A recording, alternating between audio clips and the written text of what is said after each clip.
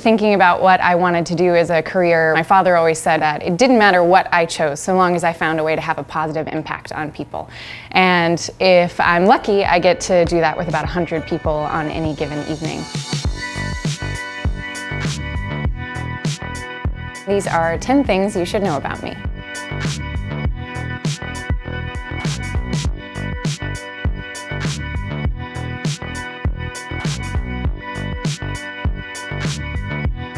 I was trained as a dancer for most of my life, and at the age of 15, I had the unique opportunity of performing in an off-Broadway show in New York City.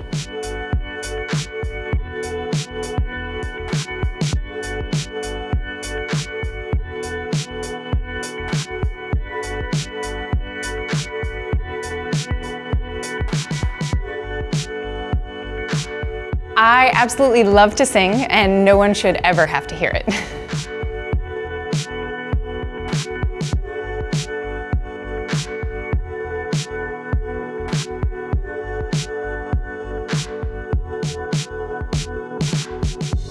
So I'm known for smiling, and I have been ever since I was born. I used to get in trouble with my parents when they were upset with me as a child. My natural reaction was to smile, which they assumed was me mocking them. Really, I just smile a lot.